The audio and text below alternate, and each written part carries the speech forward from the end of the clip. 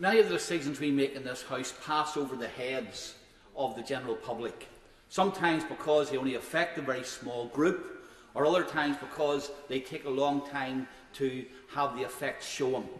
But as the member for Wickham has illustrated very, very starkly, and I don't want to go through it all for the sake of time, the decisions that we are making today are having an immediate impact on people all across the country. and are having a detrimental impact on their businesses, their well-being and their health. And I think there's just three observations I want to make here tonight. The first is this, that many of the decisions we have made here and are making and are making today are based on the views of experts. Experts who unfortunately we have accepted their views uncritically. Now, of course, I know that it's a human, in human nature.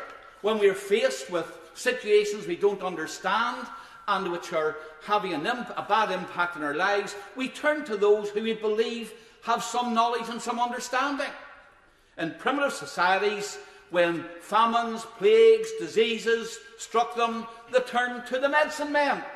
And the medicine men came with their bag of bones and threw them out in the ground and then made their analysis. and then told us what sacrifices had we made to satisfy the gods.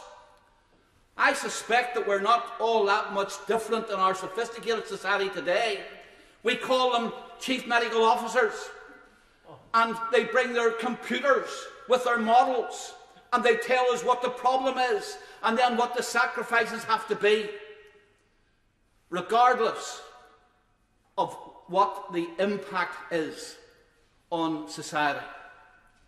And, you know, we, we get criticised for, for uh, criticizing experts, but you have to look and ask, well, have they shown that they, they understand it? If you look at some of the predictions we have had, 500,000 deaths by now. At, in the middle of September, we're told by the middle of October, 50,000 new cases. It didn't, neither of the two happened. We bought 90 or ordered 90,000 ventilators because we're told that National Health Service will overrun. We used less than 4,000 of them. And I could go on. So the first thing we've got to ask is do we uncritically accept the words of those who say they're expert advisors? The second is this we've got to look at the whole of the, the impact of the decisions we make.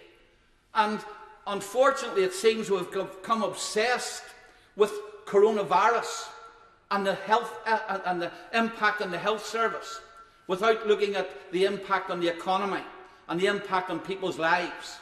And the third thing we've got to ask our, our, ourselves is this what are the alternatives? And if we, we look at what, um, the, the evidence, this is a disease which affects not the whole of society. It, it has a, de- a, a, disproportionate impact on a particular part of society, elderly people. And yet we are using instruments which affect everybody.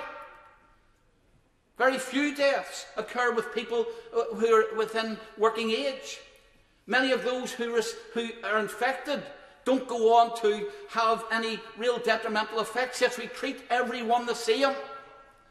And I think that and I don't have time to look at it, but the Great Barrington uh, Declaration indicates a targeted approach, an approach which the government, I believe, should be looking at, rather than this blunt instrument of bashing the economy and bashing the populace in an unmerciful way.